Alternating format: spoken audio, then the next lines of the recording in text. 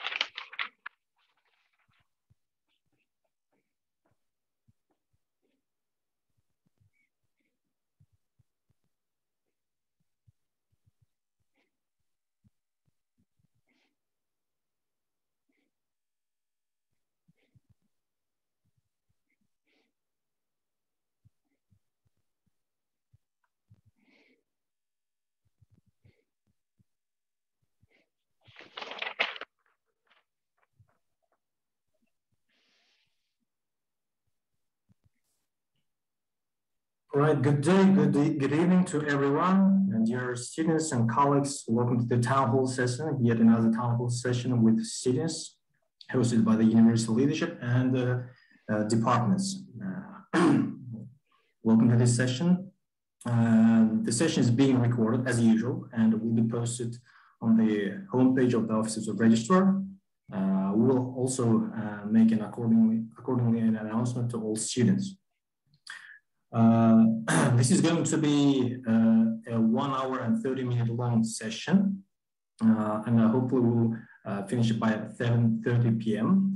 Uh, we will start uh, with the, the, the, questions that we received from the students prior to this town hall meeting.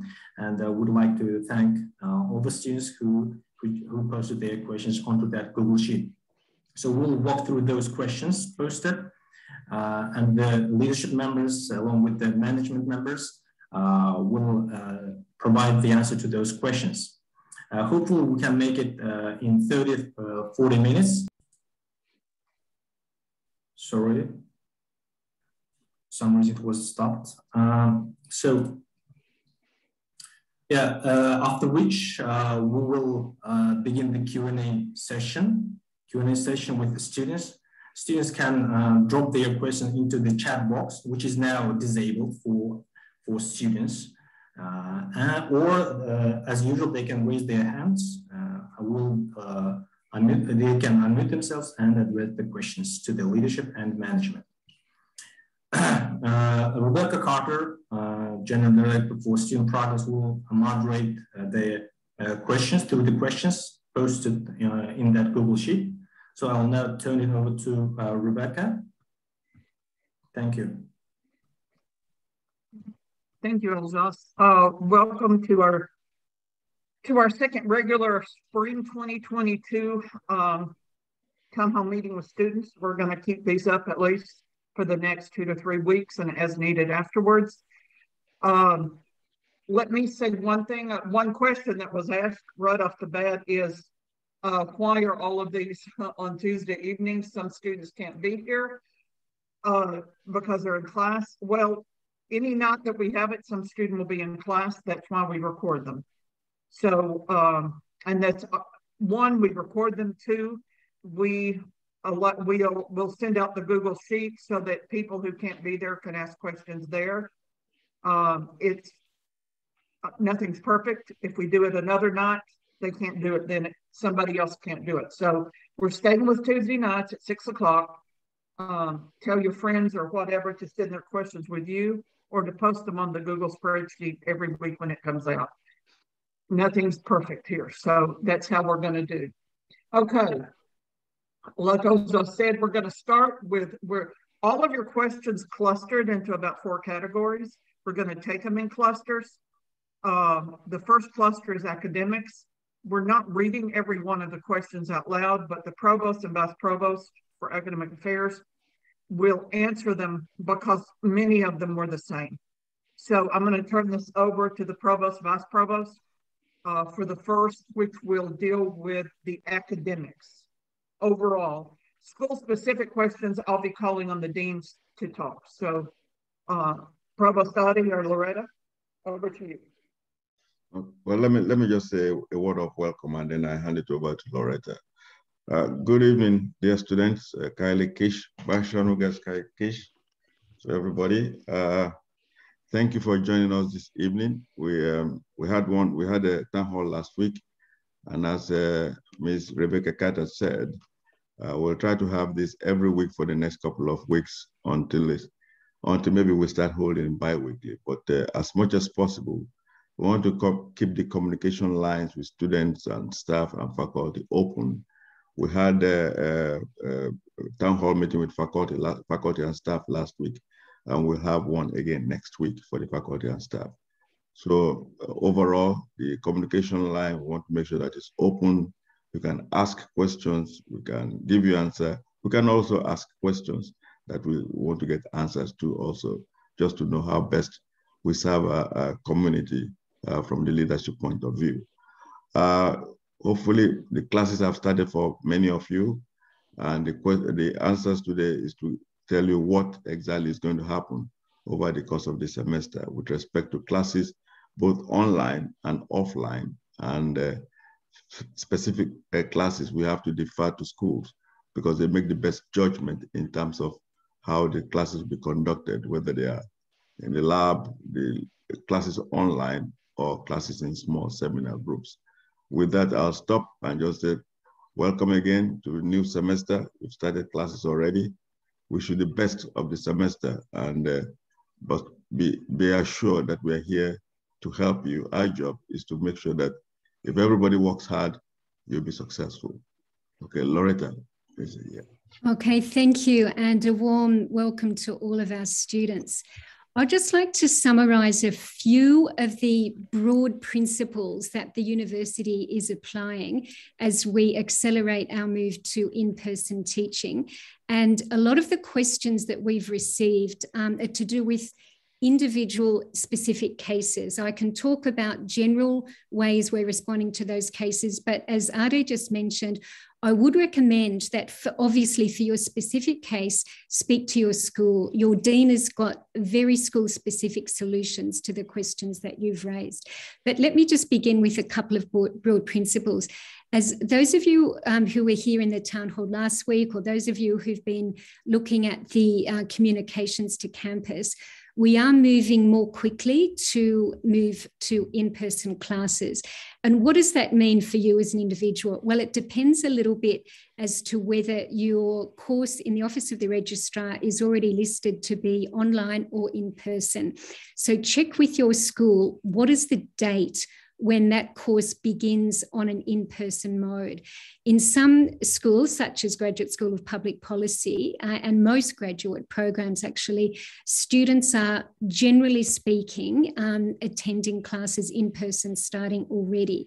For some of the big undergraduate classes, uh, such as in SEDS and SSH, uh, some of the courses remain with the big lectures available in an online format, and laboratories and practical sessions available on an in-person format. So it depends a little bit uh, what school you're in and what specific course you're talking about.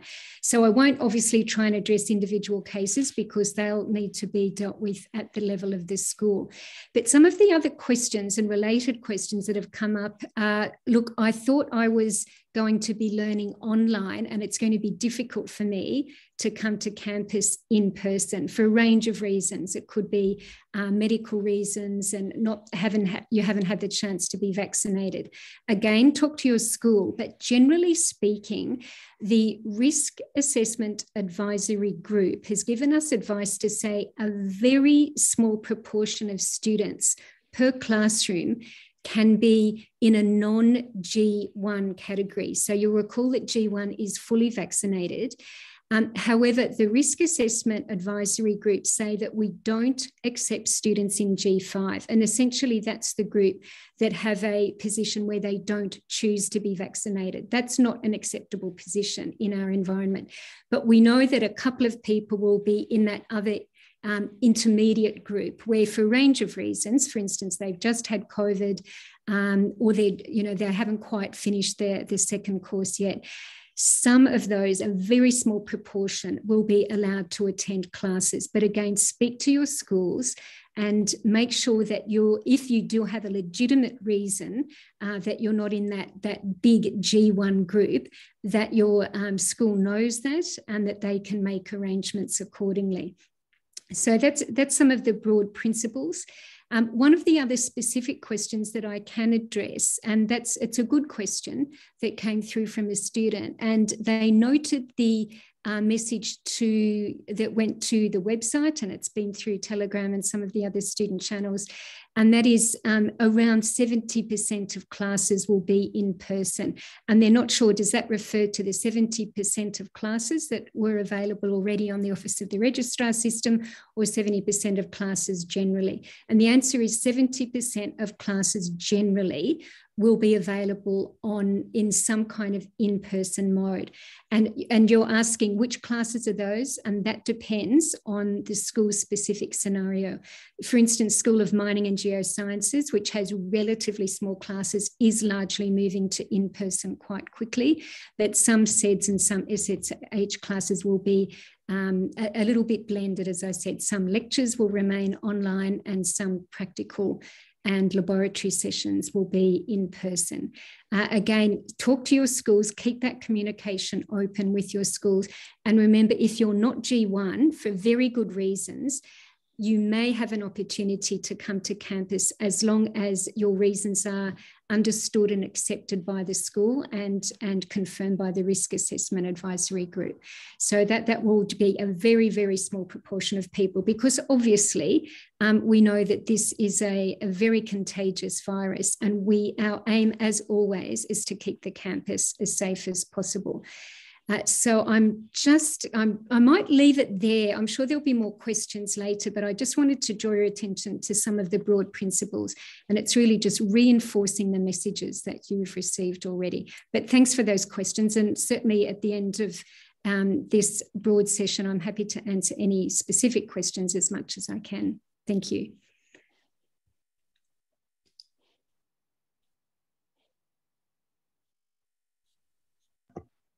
Rebecca, want to get Rebecca, you're muted. Sorry, after all this time, sorry. Um, some of these are school specific. I'm going to ask them in that way. So um, from uh, Graduate School of Education, it says um, if students prefer to have online classes until the day of submitting the qualifying exam, can the university and the school make these arrangements?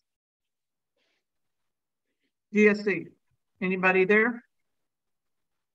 I think I saw somebody earlier. But I'm, but I'll move to the next question.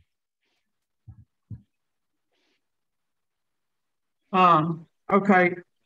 The other part of the, well, yeah, okay. Um, for SEDS, from a SED students, again, this is partly um, health and safety, but as a your student, maybe you can speak to it more directly. What if I don't have vaccination? Will I be able to come to campus or do I have another option to stay online? Dean Tourassis or? Well, in general, without vaccination, we cannot enter the campus, but it also depends on your particular circumstances. Uh, there will be some exceptional cases properly documented uh, and within reason, the school will try to accommodate. But do not count on this. The, the overall recommendation remains to get vaccinated as soon as possible. Okay, thank you. Um, uh, again, for SEDS, um, I'm a second year student without vaccine majoring in chemical and materials engineering. My questions are, what actions will the university take regarding students without the vaccine? Uh, almost half of my college life is spent online. I'm losing the most important. I think you just answered that. Uh, he has seasonal allergies and cannot and do not want to get the vaccine. Fortunately, I cannot confirm my allergies to the university. So this may be part SEDS and part health and safety. Um, yes, can I address the yes, issue of vaccination and vaccine and vaccination? So um, now we are, as we heard from uh, uh, from the Vice Provost for Academic Affairs, we're moving towards a, a, an in-person delivery of, uh, of our um, semester. Um, therefore, uh, of course, we, we do need uh, uh, students who are fully vaccinated. And so in the G1 category, uh, like faculty as well, faculty and staff. In addition, we're also strongly encouraging all our faculty, staff, and students to receive a booster, booster shot, because now the booster are free, are available in, in, in Kazakhstan. So because we obviously, we're now moving to in-person um, teaching and learning session, um, we, uh, we should not discriminate against those students who genuinely cannot receive a vaccine. Um, so therefore, we need to make adjustment. We need to make adjustment and allow uh, those students who, for good, very good reason, uh, are not eligible to receive a vaccine to attend an in-person class. Um, and not to, uh, so basically, which they should not disadvantage. So what are the situations when uh, we will do that? Uh, first of all, if, if, if a student are in the G2 category, uh, within three months from the remember G2 is when uh, uh, people have actually contracted COVID and are not eligible to receive a vaccine before three months after the, the resolution of the infection. So this is a very good, a genuine reason. Also G4, so G4 are those, indi those individuals who are not eligible to receive a vaccine because of medical contraindications. Um, now, there are very few medical contraindications against vaccines. Um, when we talk about allergy, we're really talking about only severe allergic reaction, anaphylactic reaction to, uh, uh, to a vaccine, not just a, little bit of itching or, or, or some uh, uh mild symptoms. Uh, and obviously, these medical contraindications must be certified by the by polyclinic and also must be the, the certificate should be also checked and, and approved by HSC. And then also the other category of G3. The G3 are those that actually are not fully vaccinated, but they will they will become G1. They will become G1 just because of the time, uh, whether they've received only one dose or two doses. Uh, there is a limit, however, we've actually issued some guidelines uh, for faculty, student, staff returning to in-person uh, classes. And within one class, we, they, uh, schools can only have up to 10% of non-G1 student. So if the class, you have 50 students in the class, so they could be up to five non-G1 student in that group. Uh, there are some additional precautions for these non-G1 students because they will require to be tested weekly uh, rather than every two every two two weeks. Uh, they will have additional tests also. They will be tested with the PCR as well as the rapid antigen test. And they obviously they need to limit the direct interaction with the rest of the class. Uh, let me pick up on this point, uh, Massimo, and say vaccination is important not only for the individual student, but also for the community since the university took the decision to move uh, in, a, in a planned fashion, of course, uh, to in-person instruction, this was the desire of the students, we have to be cognizant of the responsibilities to our fellow students, to the faculty and the staff. The university has to protect the health and safety of everybody on campus. So it is not simply granting an exception or allowing unvaccinated students to come to the classrooms out of the goodness of our heart. Uh, in that classroom, students will interface with other students. They will interface with professors, various ages, various underlying conditions, and also staff that have been through a lot. I don't need to remind anybody in this group that uh, just said he has lost three faculty members to this terrible disease over the last year and a half. So this is uh, very serious and we have to take our responsibility very serious. Uh, social distancing, uh, wearing your mask in classroom or in the offices or in the public spaces of the school where you will interface with others, it is a must. And we will be very diligent in, in protecting the health and safety of everybody. Those of you that uh, feel that this will be taken lightly and that it's easy to violate the, the regime that will be imposed, um, please consider that we will be um, very, very strict and very, very direct. Uh, I think the university has uh, two or three strikes and you're out uh, with penalties that range uh, from uh, expulsion from the classroom to expulsion from the dormitories and the NU campus. Only if we work together, all of us, the entire community, we can make this happen. Otherwise, we will have a terrible problem in our hands, and I'm certain that nobody wants that. Okay. Thank you, Dr. Pignatelli and Dr. Tourassis. Uh, the next one is for all of the schools that deal with internships. Many senior students took advantage of online learning in the last semester to take internship opportunities before graduation. Would it be possible to consider leaving online mode of learning for those students who have their internships activities that are not overlapping and, and affecting each other with online learning? It is a difficult question, uh, Rebecca, because uh, internship is one thing, uh, a, a full-time work arrangement is another thing. Uh, we will have to examine very carefully those cases. Uh, we have to make sure that these are really internship opportunities and not actual employment. And then on the very few cases that uh, there will be an issue, the school will be willing to help and find some kind of accommodation. But obviously we cannot make promises on a case by case basis. Any other deans want to speak into that? What I, I'm going to make a suggestion that whatever school you're in, you talk about your specific situation with your specific dean that is the best way to get the best answer you can get. A lot of you want an overarching answer, and there isn't one on something like internships. Talk to your dean, your advisor about how to handle it. Okay. Um, can someone, this is, can someone, this is a master's student, can someone clarify how to get access to the lab for thesis work? Who should we send the PCR test to get access? What should we do to include us in security lists? Would the school register for us the PCR as it was in December? Or do we register ourselves? How often should we take the test? Is there a protocol for these students?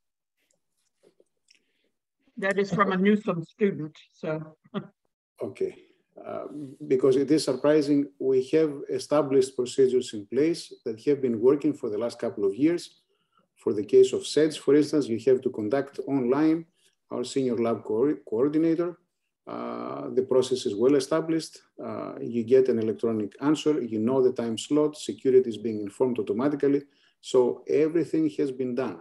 I think the student is not aware of the details, but uh, this is not an issue for anybody. I think the probably the student, I think is one of our students. The student is referring to the uh, practical, a practicals related to a, a, graduation, to a project. Um, yeah, so basically the, the program director will organize the uh, testing. Uh, certainly in our school, this is what, uh, what is going to happen. Uh, the program director will organize the PCR testing. The student should not really, it's not a student responsibility uh, in our school. Right from, from SSH perspective, the list of those students in those situations that require a thesis, experimental thesis for graduation, have been identified. They have been put on a high priority list and they have been contacted by uh, the university to access campus uh, dormitory if they're not there. If they're already in Astana, that's fine. And, and certainly to, to um, the access to the laboratory itself, That is arranged by confirmation by the, the PI, the supervisor, that they really need uh, access to the laboratories, and then that is being granted. Uh, as the, Dean Tourassis mentioned, it has to be done on uh, respecting the occupancy rate that is allowed. Therefore, there will be slots uh, of time that the PI in a particular lab will determine, but the process again is, uh, is already in place as well. Okay. Uh, I believe Ulai is on here. There are some questions about the Kazakh language requirement. Um, is university planning on revisiting the curriculum for Kazakh language? The issue is uh, the university assumes that a graduate from Kazakhstani high school is educated enough to take academic Kazakh despite any prior le level. Kaz test that was conducted at admission does not reflect any difference in levels. Um, we are forced to take the courses despite the fact we do not know the language at the level that academic Kazakh requires. We do not even have the opportunity to take some basic Kazakh classes to achieve levels sufficient for academic. Um, so is Ulai here? I don't think he's here, uh, but I can I can respond to it. Okay. Um, so uh, yes, the assumption is that students who are coming from uh, Kazakh language schools uh, their their language uh, abilities should be high enough to take uh, Kaz uh, 201, the academic Kazakh 1 class. But in rare occasions, it may be the case that students, uh, their language abilities are not quite that uh, advanced yet. And in which case, the um, they will be evaluated by the department and then placed in the appropriate level.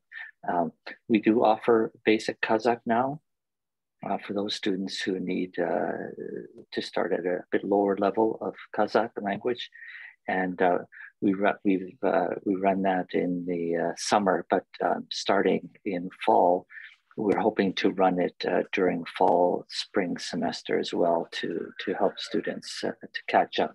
So um, the opportunity for the, these students who are in Kazakh language class schools to move down to a different, a lower level of, of Kazakh language. it, it is possible. Um, you you contact the department for testing, and uh, we may then facilitate getting uh, these students into the appropriate class. Um, there was another question regarding taking advanced Kazakh classes yeah. in the summer. Um, unfortunately, um, during the pandemic, we have not been offering advanced Kazakh classes during the summer, uh, but we did before uh, in the before times, and uh, and we hope to do it again um, uh, starting this coming summer, um, hopefully.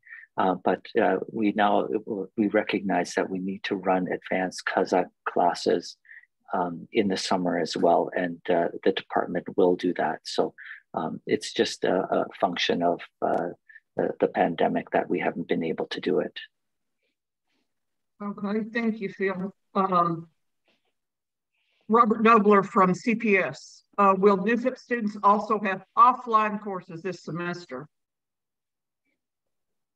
Okay, unfortunately, it is very extremely unlikely that we would be able to offer uh, in-person classes to NUFYP students. And there are several reasons for that, but um, most understandably, not everybody is going to be able to be vaccinated. Not everybody is going to be able to, uh, for one reason or another.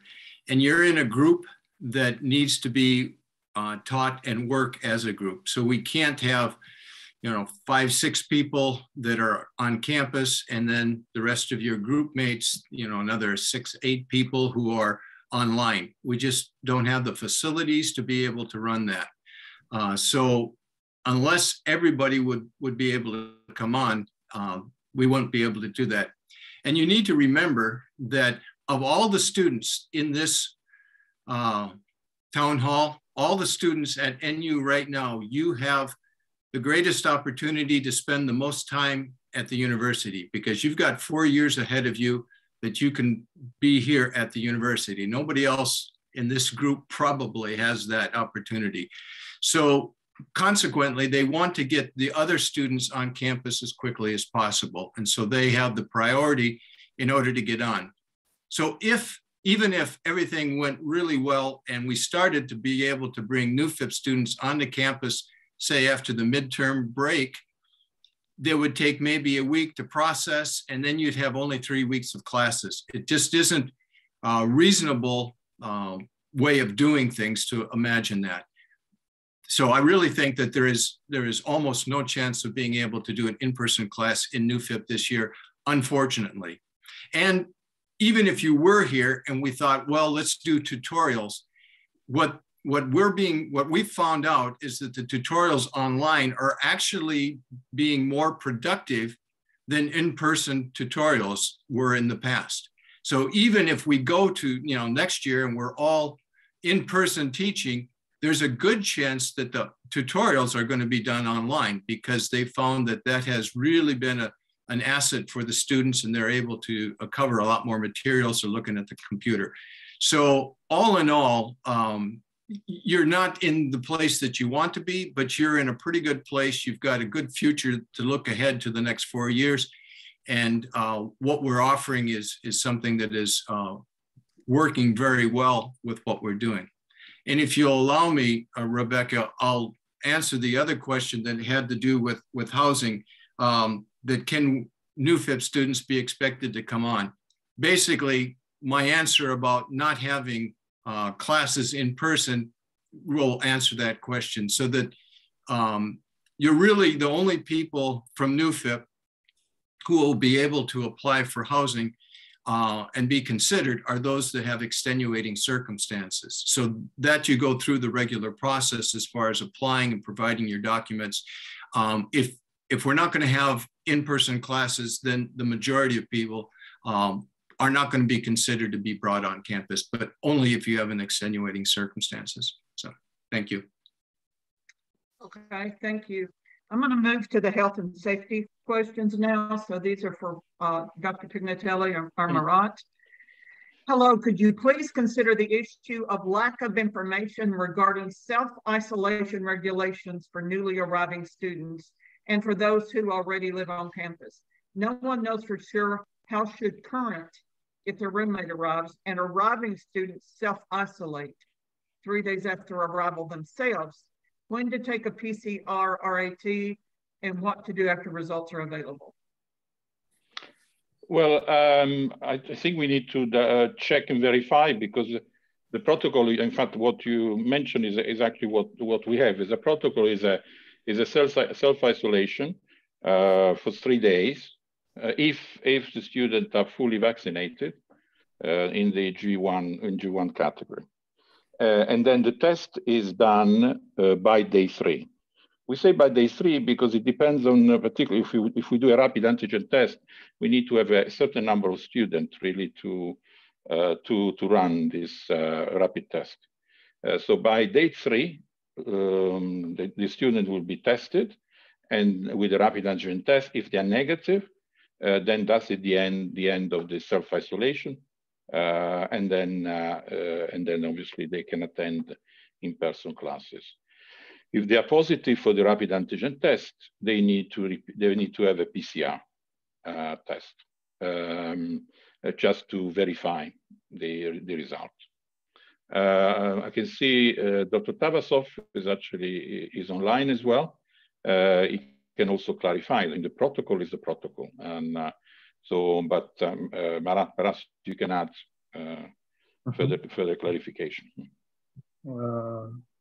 Uh, thank you. Uh, uh, good evening, uh, dear uh, students. Uh, thank you for your time. Uh, yes, I need to admit the fact that sometimes the instructions might not be clear, especially in the past, during the previous week, as we had too many cases in January, and we had to start the process of rapid testing and temporarily uh, we conducted PCR. Marat, we're losing you. We can't hear you. Can you hear me? Can you hear me? Mar no. Can you hear me? Marat, We can't, we still can't hear you.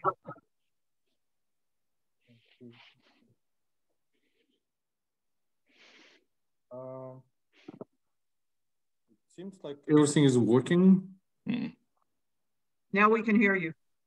Can you hear me? Can you hear me? No, we can't. I apologize. Uh, let me check uh, what's going on. Yeah, we can hear you. Yeah. I think you need to lean in to your computer. uh, okay. Okay. Give me then a couple minutes. Uh, I will do that. okay. Mm -hmm. I'm sure the topic will come up again, so we'll go on. Okay, next, will you provide? Will you be providing Nur Sultan residents without in-person classes free PCR tests to access the library? If not, why not? No, if we already uh, announced this at the previous town hall meeting, that if the Nur-Sultan resident uh, needs to attend in-person classes, uh, therefore uh, they need to have a PCR and the, and the school will, uh, will pay for this test. We will not pay for library access. Correct. If if library access is actually required for the student to uh, study and to pro progress study in the graduation, yes, we should pay for that as well. Okay. So they need to get with their dean if they require library access to yes. graduate. To graduate, okay. to progress and to graduate, yes. Yeah. Okay, so wh whoever wrote that, I hope you're listening. If you need library access to graduate, yeah. go to your dean. Okay, thank you. Uh, is it possible to do monthly PCR instead of weekly? How long will the frequency of PCR testing depend on the color of the area on campus? Is it possible to remove very frequent testing? It is very expensive for Astana residents. Sorry, Rebecca, I'm back. If you allow good. okay. Good deal. Yeah, I hope you can hear me, and so I apologize for some technical issue.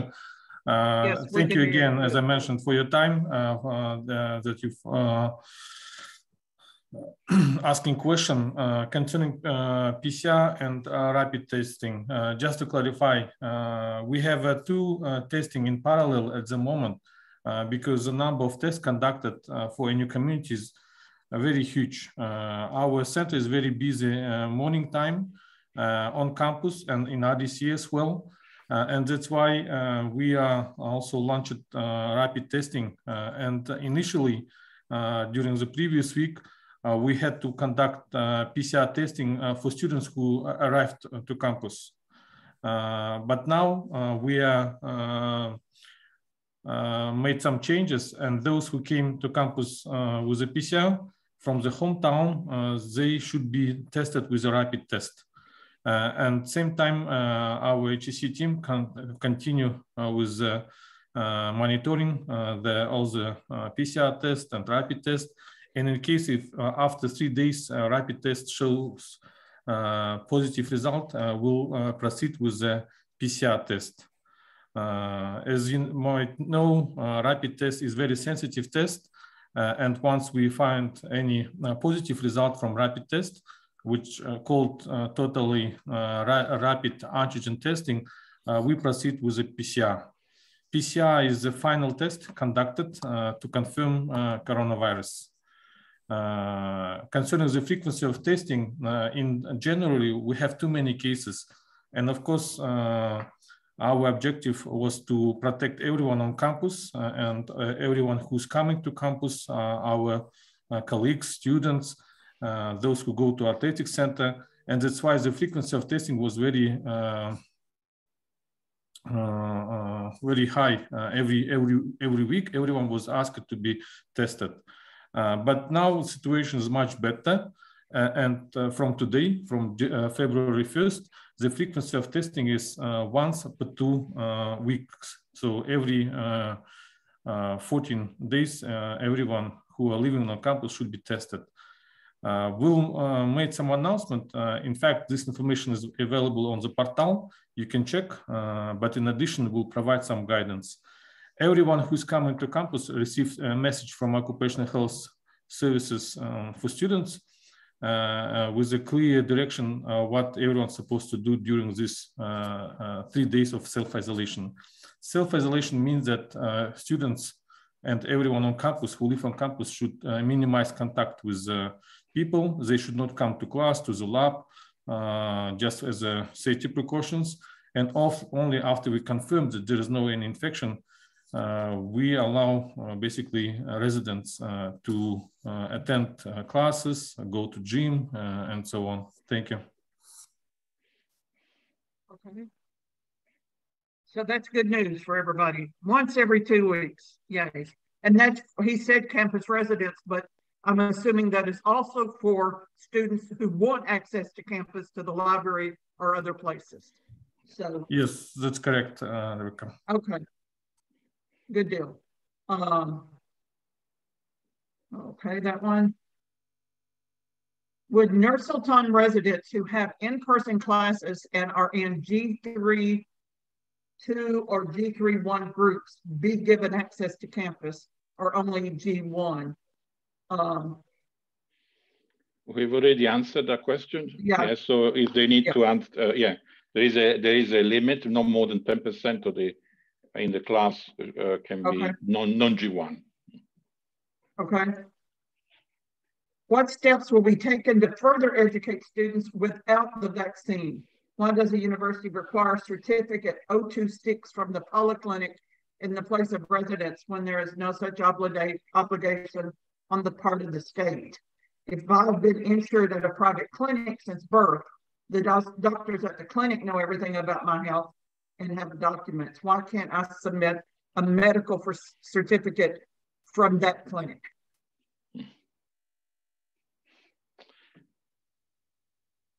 I think Marat can mm -hmm. answer that yes, question. Uh, yeah. Yes, thank you for your question.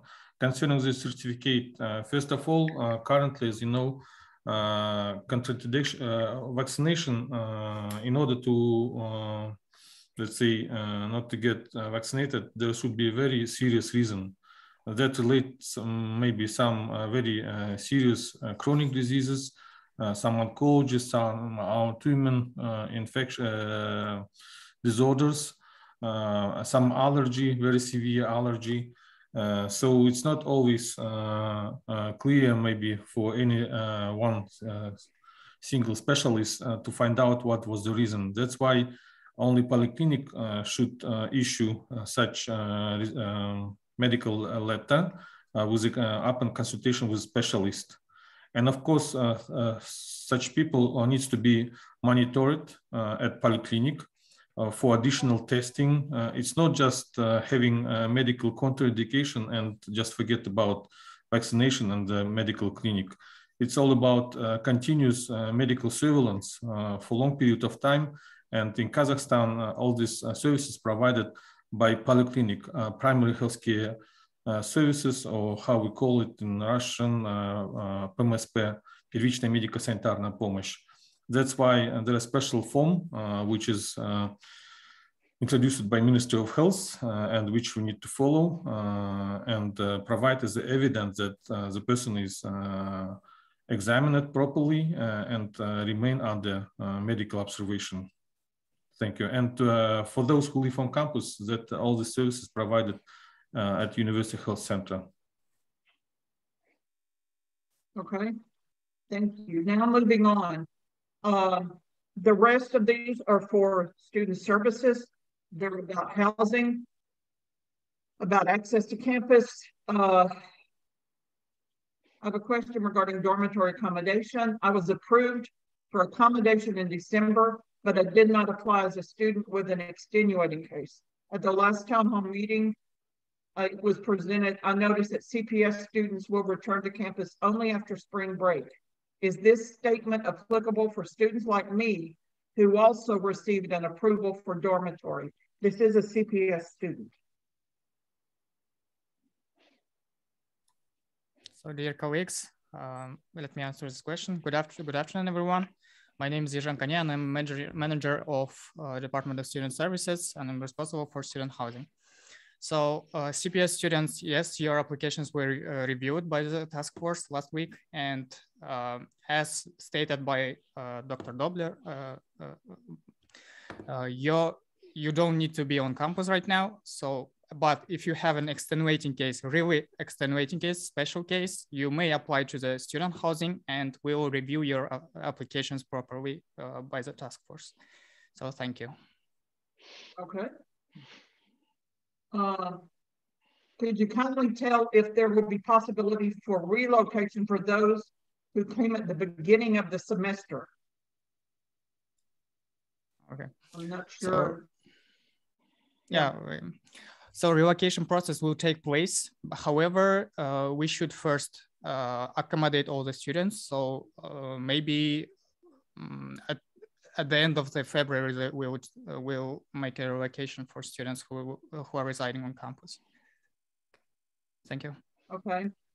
Um, when will first year students that have offline classes and never lived on campus but were approved to reside on campus in December, when will they receive check-in dates? Um, so for approved students, uh, only for approved students in December and who have offline classes, uh, they will receive hopefully this week uh, after the approval with the task force members or at the beginning of the next week. So please uh, wait for our uh, email. Thank you. Okay. I am a NUFYP student. I'm 18, fully vaccinated SVC student. I've applied to dormitory as an extenuating case in December, and I've been approved. However, the accommodation was canceled at that time due to the unstable state of the country. I applied again in January, but was denied. I didn't have the opportunity to study in my hometown due to unstable internet and occasional power outages. So I had to live with relatives. I'm not going to go into their personal issues. I do not have enough space. Can't I be placed in a dormitory? So uh, as I stated, uh, we uh, we are still receiving the applications from extenuating cases. So please uh, email us with uh, uh, with the explanation of your situation and with a clear justification and supporting documents. Please email to student housing, and we will consider your case during the task force meeting. Thank you. Okay. And, and there's a few more about extenuating circumstances with new NUFYP. So that's what we're saying to all of them, right? Years on? Yes. Send it on in and it'll be yeah. dealt with. But it's kind of second priority right now. Okay. Uh, yes. Rebecca, can I just also clarify because I I, I uh -huh. chair the I chair this task force uh, together with uh, Kadisha uh, Dairova. Uh, now, extenuating uh, cases should be really exceptional cases so it's not the way to apply through it as an accelerated case to get, come back to the campus earlier, perhaps before the academic uh, to be included in the academic reason. And this is why we require quite an extensive documentation and evidence to support the um, statement made by the by, by, by the applicant. So it, it, so it's very difficult, it's very challenging actually to to get approval um, unless the student uh, really is able to provide all the documentation that uh, that we that we require. Okay, thank you. Okay. Um, the only question outstanding from the Google spreadsheet is one about graduation. I'll take that one. Basically, we've not made a decision about this year's graduation for the past two years, we've made decisions, had to change them. Uh, there will be a graduation. I haven't talked about this with President Katsu yet. Um, we will do them. We will send this out as soon as we can.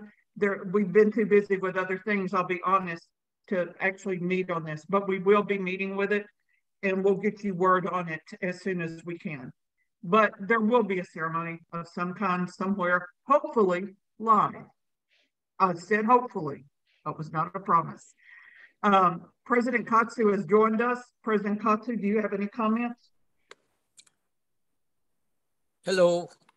Uh, sorry, I just joined uh, a few minutes ago. Uh, I'm severely jet lagged, but I hope uh, uh, you all bear with, with me. Um, glad to see you all. I listened into some of the responses, so to me they made a lot of sense. So that's good. I just want to maybe pick up a little bit on the graduation uh, question because I think uh, for for our fourth year students and second year masters and you know graduating PhDs, this is starts to be maybe at the center of the of the of your respective you know interests. Um, as as uh, uh, our uh, Rebecca just indicated, uh, this year we will try to make it happen in person uh, and, and have as many people, you know, of, of the graduating cohort there. But as always, we say COVID permitting. Um, so we need to, again, uh, make sure that we take all the precautions um, and we will try to, to make it this year as exciting as possible. Now, I hope you will all understand that over the past two years, we sort of tried to, to experiment with, you know, a fully, uh, a fully uh, online, virtual well and and also almost over designed uh, process versus last year which uh, maintained a little bit the uh, ad hoc nature of a, of a live ceremony. Um, I am painfully aware that neither of them may satisfy everybody and ultimately that as many people as possible would would like to see uh, you know would like to see a live a real graduation ceremony, and we are very mindful of it. Uh, but please bear with us. Um, our our uh, medical experts will tell us when we have the green light to really go full steam ahead. Um, and we will certainly try to contact the cohorting, uh, the cohorts, the graduating cohorts as soon as possible, so that we get also your inputs into the design of the of the ceremony. Okay. Uh, otherwise, sorry that I joined late. And uh, I just listened to, to, as I said, the tail end of all the comments. Um, I just want to echo what, what Massimo indicated to on the campus residency. Extenuating means extenuating. Please bear that in mind, okay? Uh, Otherwise, uh, tell us you like the questions or not. Uh, we're going to meet again in a week's time, and uh, I look forward to seeing you then. Okay. Thank okay, you. we have a. Okay, thank you. We have about 15 minutes left, I believe. Ozas, um, we'll open up the chat. We'll take hands at this point, right? Ozas, I'll turn yes. it over to Ozas.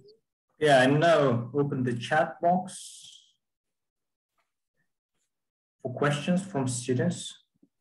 Also, please, students, raise your hand so that we can know you are you, you are going to raise a live question. So the chat is Let now. Let me open. just make a statement here before we go on. If the question's been asked, don't ask it again, thinking the the answer will change because you did it the answers can't change. So please come up with new, unique questions, okay? Surprise us. All right, uh, I'll start with uh, Kasimhan Nur Mohammed, mm. please.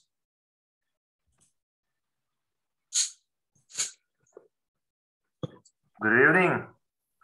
Good evening.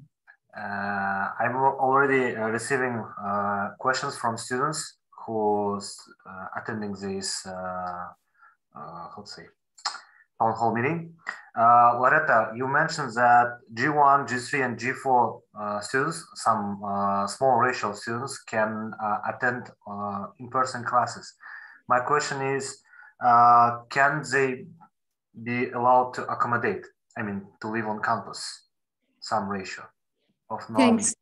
Thanks, Kazim Khan. That's a good question. I think I'd like to leave that to Massimo and Marat to answer more definitively, if you don't mind. Yes.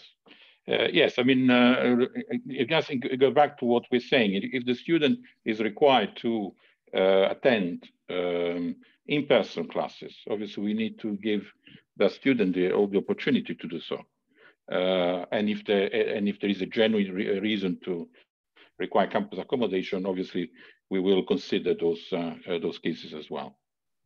Thank you. My second uh, question, um, two issues. Um, uh, we have some cases when students arrive uh, to Astana with positive PCR test result. And thanks to health and safety department, some of them are allowed to undergo quarantine on campus, but some of the students uh, get denials. Can we put these cases into the protocol so so it could be unique to all students and uh, allow them to live on campus? I mean, undergo uh, quarantine on campus because when they arrive Astana, Nur Sultan, and they are under stress because they are not allowed to accommodate and they need to find some place to for self-isolation by themselves. Yeah, if if you allow me to answer this uh, question. yeah, uh, first of all, uh, I think it's very uh, straightforward uh, concerning the instructions sent to everyone who was approved for accommodation on campus that they need to take PCR at their home and get results in their hands, ready result not just passing test and boarding plane. Uh, I don't know why, how we should write, which language we should use, uh, but I personally saw the message uh, sent to all students, which clearly states that uh, please make sure that you get result, negative result, uh, before you depart from your hometown.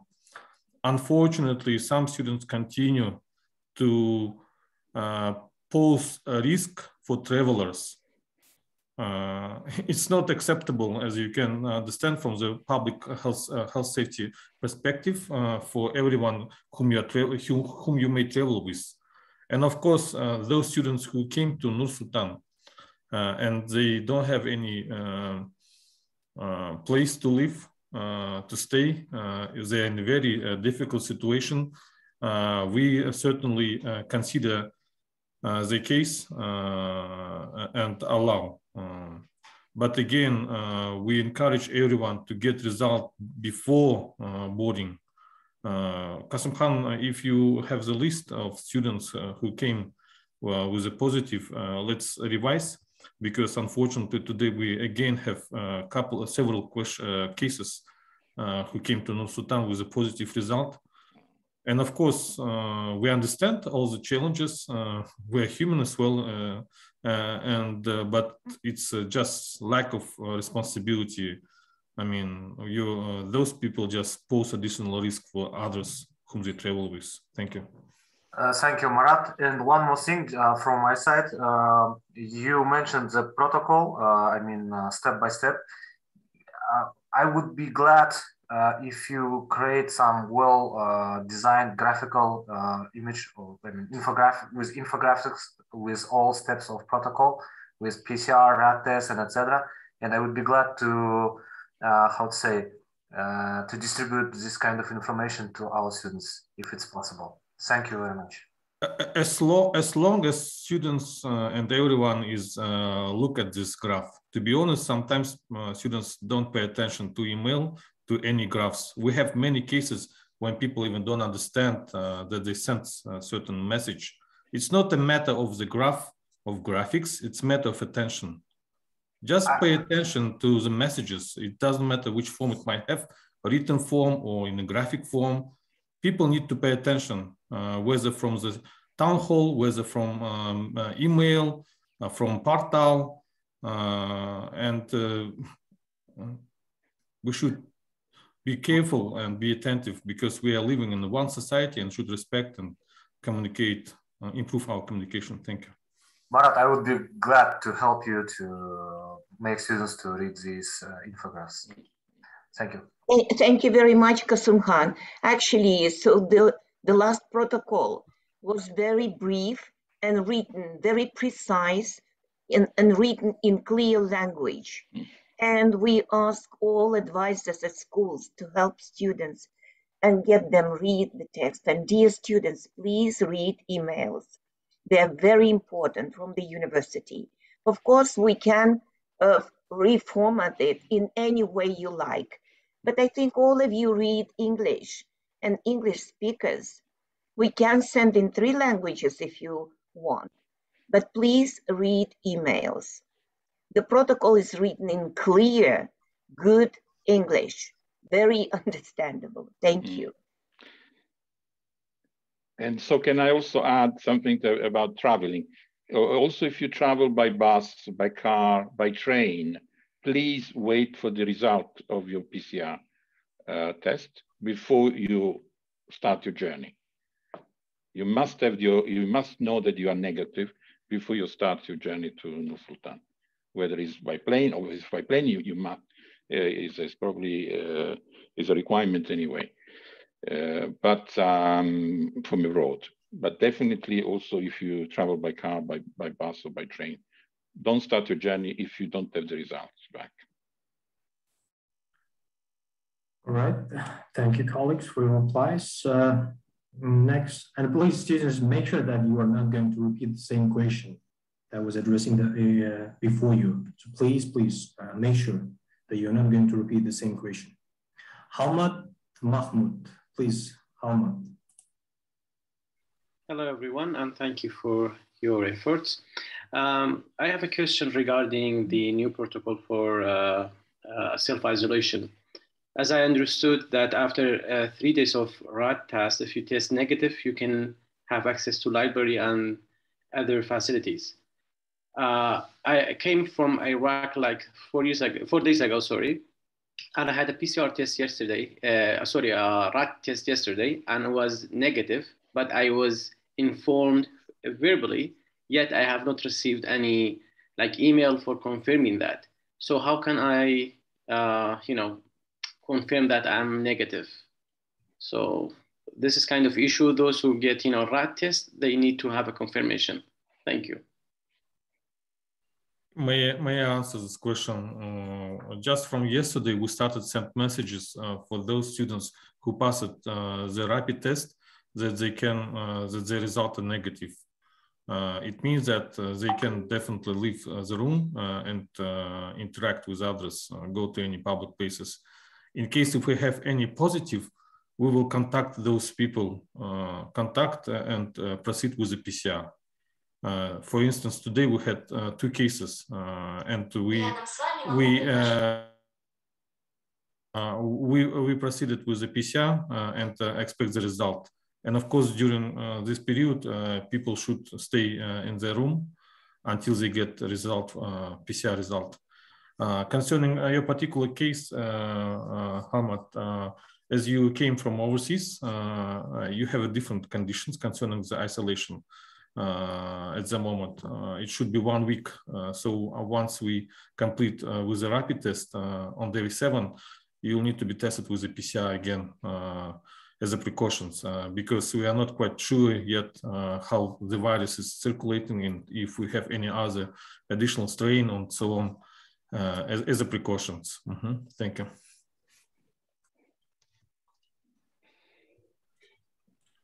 All right, um, moving on, LBC by. Good evening, everyone. So my question is about academy uh, dormitory for the NUFYP students.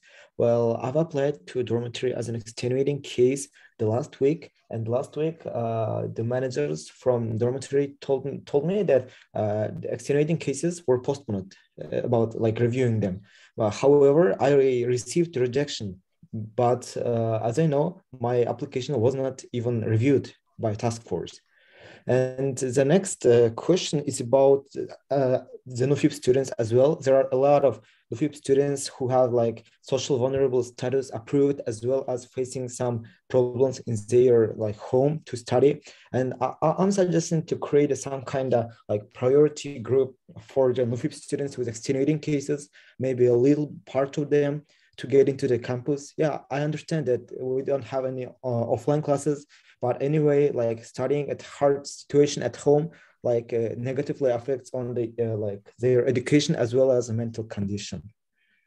Thank you. Mm, dear colleagues, let me answer to this question. Uh, Alibi, uh, your application was reviewed and you have already received the rejection of your application. Your application was thoroughly reviewed by the task force members and the answer uh, answer is the rejection, as I said. So uh, if you want to um, somehow to be reconsidered, you may um, you may apply again and explain your situation uh, maybe in different way. So with the supporting documents. So please uh, email us again and we will try to assist you properly. So thank you. Thank you. Thank you, Jean. uh, next is Diaz Kasmakumov. Please, Diaz, let us know your question. Okay. Uh, hello, everyone. And my question is related with uh, safety I'm not vaccinated and I cannot get the vaccine because of my post-COVID issues. Two days ago, I was diagnosed with acute bronchitis as a result of COVID. And it is said in this lecture that it is allowed to attend in-person classes for unvaccinated groups that have health issues. So question is, are we going to expose these groups to get infected with COVID it's okay when the G1 groups participate in in-person classes since they have protection as vaccines. I believe that attending in-person classes without full recovery and proper vaccination is too risky, uh, while the numbers of infected people is surging in Nur Sultan. Like we should consider Omicron is differently because it has high transmissibility. So it's obvious that our university considers safety as a priority these groups don't need special online lectures, only materials such as books are enough to prepare for the exams. Maybe it is better to keep online education for these risky groups for safety reasons, at least for this semester. Okay, perhaps I will start answering uh, this question, then perhaps Marat can also follow. Uh, now, uh, first of all, we need to uh, um, be, be very clear that, uh, first of all, thank you for the question. It's very important that we that would give me the opportunity to clarify a few, points. Uh, first, first of all, only those students who actually uh, are able to uh, attend in-person classes, not because, because they've actually re, uh, recover, you know, they have no symptoms, they have no complication, and because obviously if somebody is uh, unwell, he or she should not, you know, should take some leave of absence for, for medical reasons. So here we are really talking about only those uh, students who genuinely are unable to be vaccinated, but they help, but they are well, you know, they are they're well and they are able to attend classes in person. And obviously, the decision uh, to deliver a, a, a person uh, a, um, a, class in person has been made by the uh, school, uh, considering the educational needs of these of all students. Um, uh, because you know you're not we're not going back to 100% on offline immediately. We're we're going to prioritize as also uh, um, required by the Minister of Health and Education and Science.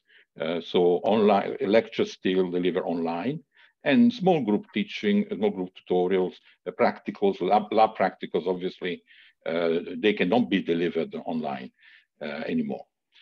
So we are really talking about this this uh, specific uh, uh, teaching and learning session in person, and also students who are well to attend these classes.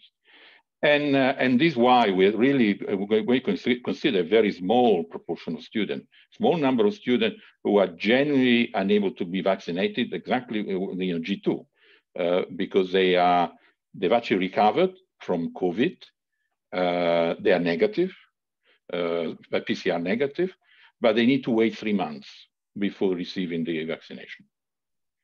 Or the other group of uh, those uh, students who are in G4 with a medical contraindication because they perhaps had some very severe uh, allergic reaction uh, to a vaccine, and therefore they are not eligible to, to receive a vaccine. But we, we actually uh, they define this threshold of 10%, no more than 10% of non-G1 students could be in the classroom, really because the, you know, because of the principle of herd immunity. I don't know if you heard about that. So the, if you if you have a small number of unvaccinated individuals within a large community, a group of large group of individuals who are fully vaccinated, the fully vaccinated will be able to protect those few individuals who cannot be vaccinated. So really, as I said, first of all, the requirement to in-person classes yeah, in order to uh, progress in the studies and graduate. And that is made by the school decision. And then the uh, obviously the requirement of those, those students to attend the in-person classes with the appropriate precaution. Uh, and Marat can also perhaps add some further clarification to this. Yes, uh, thank you uh, for clarifying, Sima. Uh, from my point, uh, from my side, I want to add that uh, people should not uh, refer to the high titer of antibodies because high titer of antibodies is not vaccination. Vaccination has a different mechanism to develop immunity in the body, and it definitely cannot reproduce it, uh, let's say. Uh, so everyone who uh, had uh, even COVID in the past should be vaccinated after three months. Previously, it was uh, six months, uh, but now the guidance is very clear. it's an international practice, not just in Kazakhstan, but in some other countries, three months is a sufficient period after COVID when a vaccination can be administered uh, if it's interrupted, let's say. Uh, it applies uh, also for revaccination. Unfortunately, we had many cases, um, even uh, G1, uh, who suffered with the COVID because uh, the strain is different and uh, there, there, was some likelihood that those people would be infected and it happened, in fact. and after three months, everyone who had COVID uh, and uh, even they are vaccinated, they should proceed with the revaccination. Uh, sometime in May, in April, some other news concerning campus residents. we agreed with the vaccination on campus. it will be provided soon. we, we are defining the schedule uh, mainly it was conducted in RDC, Republican Diagnosis Center, and uh, Abu Dhabi Plaza and some other uh, places around the city. Uh, but at UHC, we are planning to have it on uh, Thursday afternoon. Uh, we cannot do it in the morning because of the testing, but Thursday afternoon might work. we'll announce this later. Thank you. All right, thank you. Uh, next in the queue, uh, Adabek Sharon. If I can interrupt just a minute, we can take about six more questions okay? And then we're already past time. So let's take the ones with their hands up and then we're gonna have to close it out. Okay, thank you. All right. Kadabek Sharo, please. Um, yeah, thank you. Hi, dear all. Uh, I'm a third year uh, student and I received, so my question is for student housing. I received uh, dormitory confirmation in December and this semester I'm having a, an offline class and which is going to start in 14th of February. But yeah, I didn't receive still a check-in date. So I really understand the pressure on uh, student housing, but is it real that uh, I will receive the check-in date like before 10th of that February so that I will arrive in campus and stay for three days of quarantine and can be in like in class in 14th of February.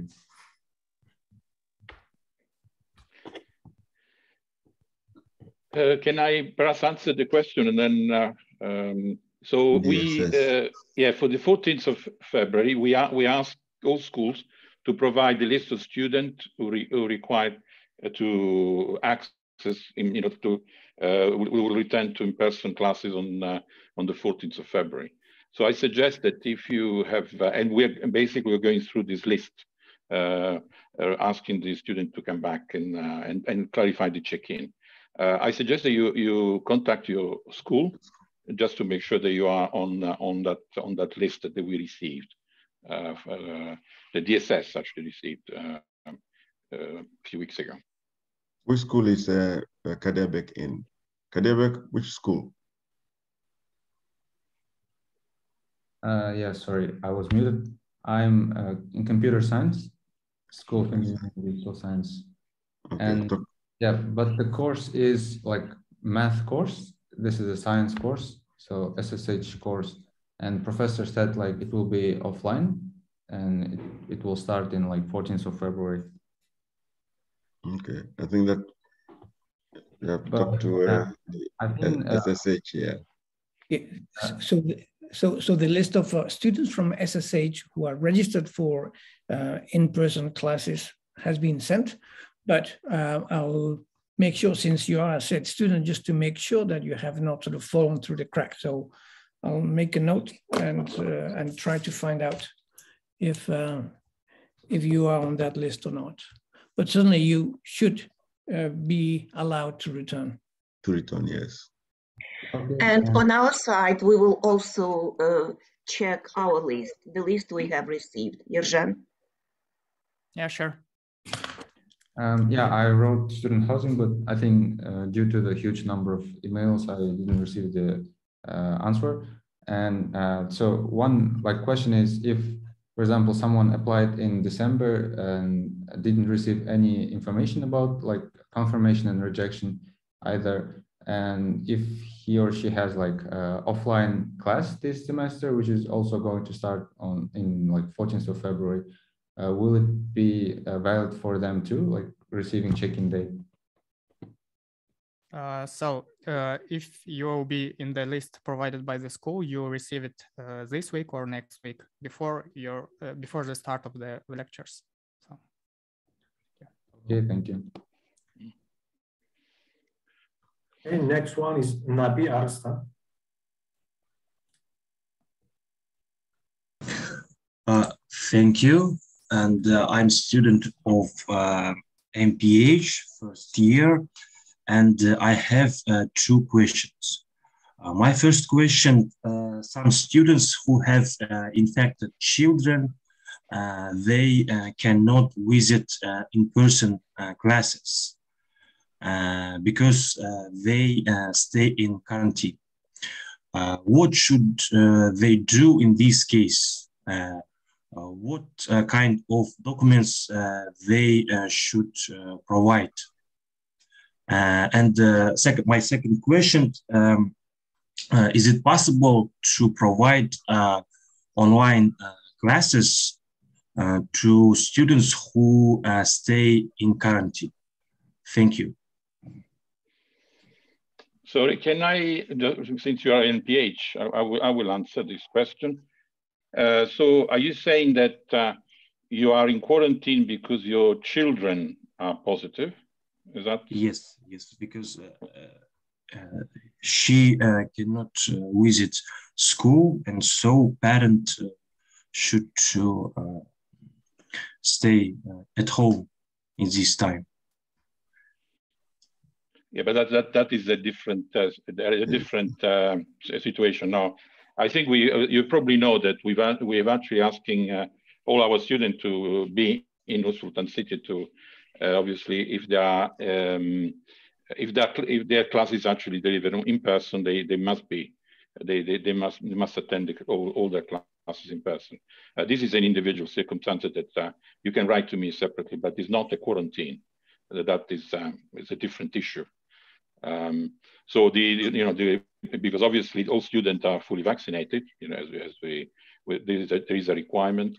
Uh, only if you are a close contact, uh, and if even with a new decree, if you are fully vaccinated without symptoms, you don't need to be uh, full, you don't need to be isolated if you're a close contact.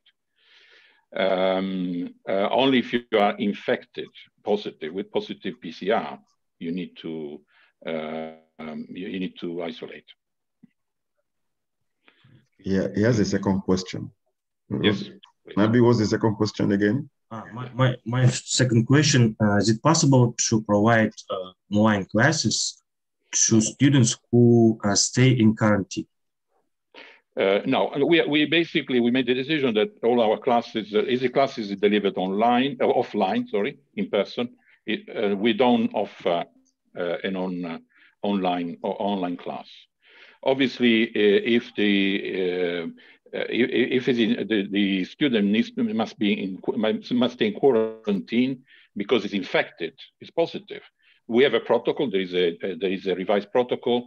Uh, if he's asymptomatic, fully vaccinated, fully vaccinated, actually even if he's not fully vaccinated, as long as you're asymptomatic, uh, uh, they need to isolate for five days and then repeat the PCR. And if it's negative, then they return to in-person classes. So the isolation uh, could be as, as short as five days, one week.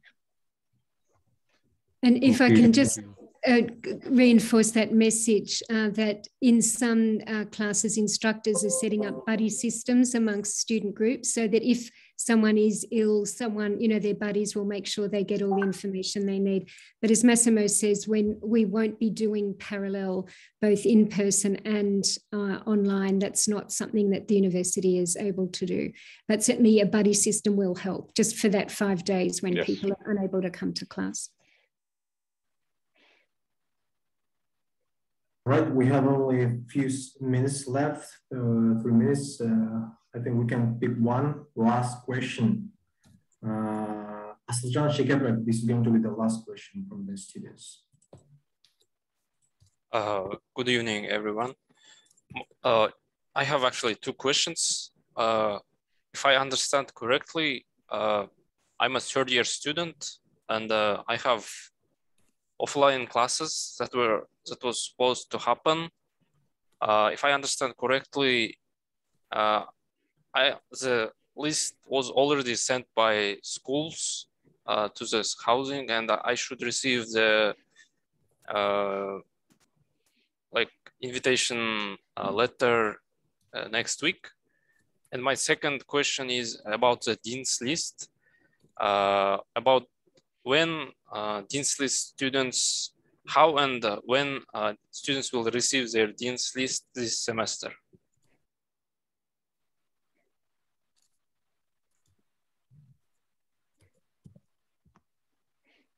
-hmm. Who's, who's answering that question? it, it, might be helpful if we know what school that you're from, and then the appropriate yeah. dean might be able to answer specifically about being. Uh, I'm from SSH. Gonzalo, you have a customer.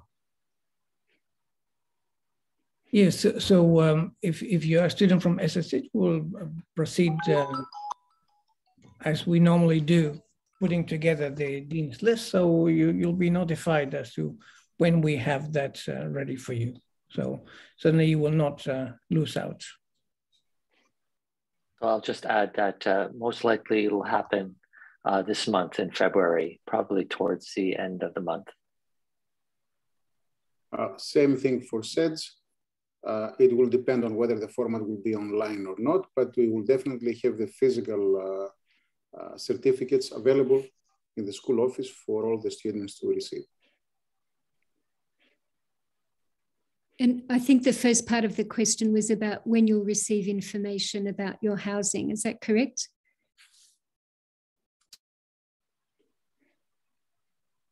Uh, yes, exa uh, exactly.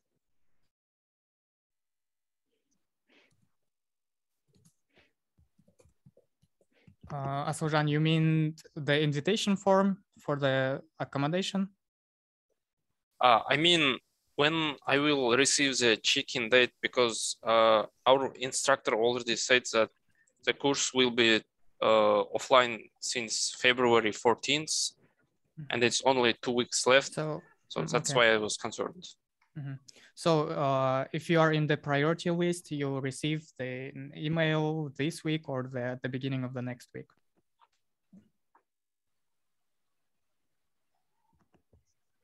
Okay. Yeah, I, I, guess yeah, that was the last question, and we can wrap this session up. Uh, Rebecca.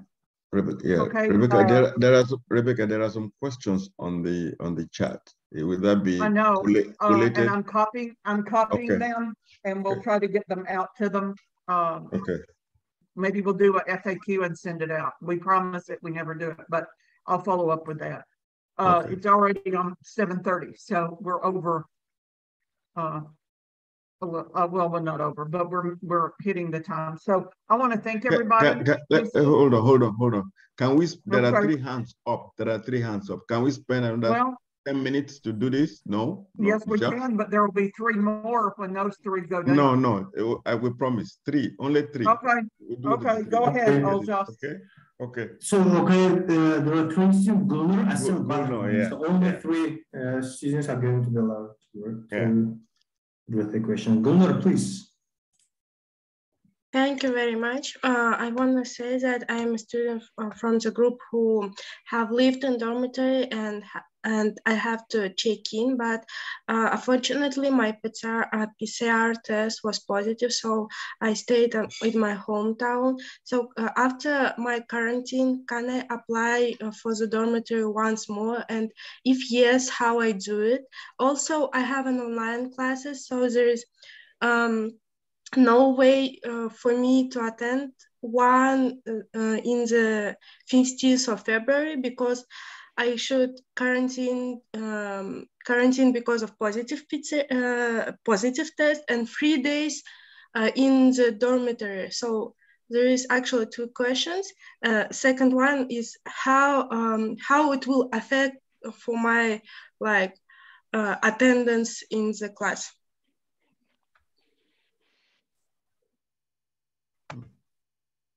Gulnur, which school are you from? Uh, I'm from SSH, biology major. Sure, thank you. Uh, Phil, do you want to answer maybe the second part of that question? If someone's in quarantine, it will be just for five days, presumably. Uh, so there will be a mechanism by which students in quarantine will be able to receive information. Yeah, uh, happy to do that.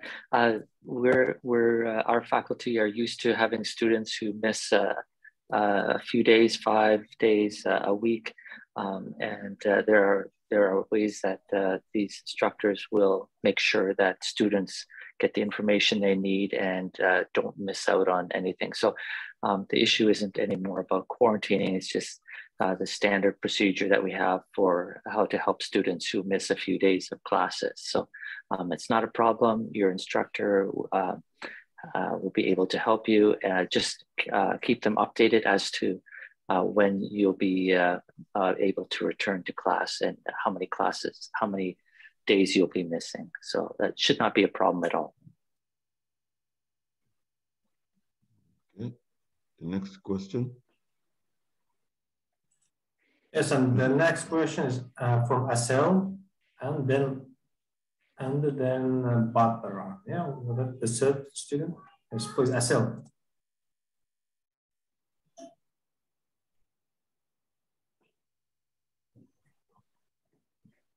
Asel, please. Asel is muted. Uh, yes, yeah, yeah, I was uh, muted, sorry. So uh, good evening, everyone. Uh, thank you very much for letting me uh, ask this question because I've been concerned about it for quite a while. And I believe I've decided to raise this issue because I believe it's not only my individual, but also universal to those who have been living on campus. So uh, the, my concern is about quarantine procedures for those students who arrived in February uh, because when they arrive on campus, they're supposed to self-isolate for three days. However, uh, in some rooms, students are already living. So that means that, uh, so I've, I've been informed that uh, when my roommate arrives, I, I have to self-isolate also. I have to stay in the room for those three days until um, my uh, roommate uh, does a PCR test. So actually I, I don't agree with this procedure because I believe that this is unfair to those students who have already been living on campus because I think it puts uh, our well-being at risk. So uh, that's why I wanted just to bring this to attention of the university. Thank you. May, may I answer this question? -hmm. Yes, uh, very apologize for the situation. Uh, in fact, uh, our plan was not uh, to do like uh, we have uh, at the moment, particularly in your case, definitely those who are placed together should be tested same day, and they should follow the same period of isolation if it's required. That's the reason why when we discussed with the student housing, we requested to consider possibility of relocation. So current student could live together if they stayed on campus. And those who are just arriving, they can be placed in a one room as a newly arrived, arrived student. Uh, but you can imagine all the logistics with this and the lack of room uh, which we have on campus uh, and as a temporary solution, uh, there was some suggestion uh, to address this particular issue like that. Uh, but let us uh, to revise uh, this practice and come up with a different proposal to address your particular concern, as you mentioned. Again, I apologize and thank you for letting us know. Thank you. Thanks, uh, thanks, Marat. Right, and the last question. The last question, yes. Yeah, Batarhan Isimbekullah. Batarhan, please. Uh, can you hear me? Yes, we can. Yeah, yes. Good evening. I have a couple of questions. First question is, could you provide a more accurate date of a proposed accommodation of those students who got an approved in December but have fully online courses? Because information about this group of students is still uh, quite unclear when we got accommodates and how. The second question is about extenuating case. So is uh, often electricity outages concerned as uh, extenuating case because on my street there are very often power outages. However, more than half of my courses announced that this is not a proper excuse uh, without certificates confirming that and uh, attendance is mandatory and there are no makeup exams or quizzes. And by the way, uh, electricity on my street is provided by private organizations, so I cannot take uh, official certificates of power outages, only a spravka from head of that private organization confirming that there were outages some. Thank you.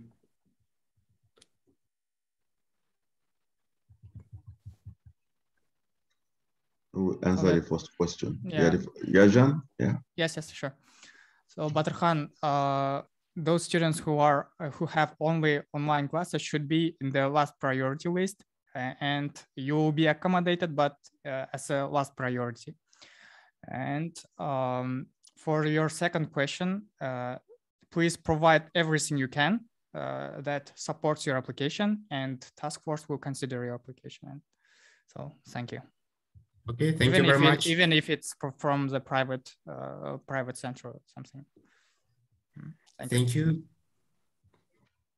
Okay, thank you, Rebecca. Rebecca.